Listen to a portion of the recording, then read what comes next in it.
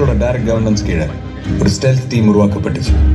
Initially it was call Prince Guardian and later Black ஸ்காட்னு பேரை மாற்றப்பட்டுச்சு black ஸ்காடோட pilot பேட்ச்ல 11 மெம்பர்ஸ் இருந்தாங்க.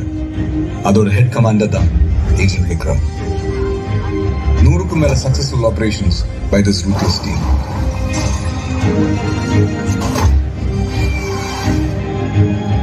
unfortunately nineteen ninety ஒன்ல நடந்த ஆபரேஷன் தவறா போனதுனால ஏஜென்சி இவங்களுக்கு எதிராக தெரிஞ்சிச்சு.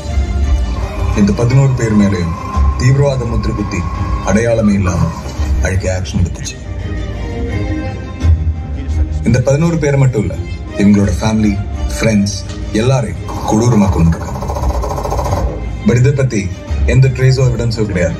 டில் டேட் இந்த பதினோரு பேர்ல நாலு பேரோட பாடிஸ் மட்டும் missing That includes Vikram as well. And the death still remains a mystery. இதை வச்சு பார்த்தா என் முன்னாடி முகமூடி கழட்டினதும் பழைய ரெக்கார்ட்ஸ்ல செத்ததா இருக்கிறதும்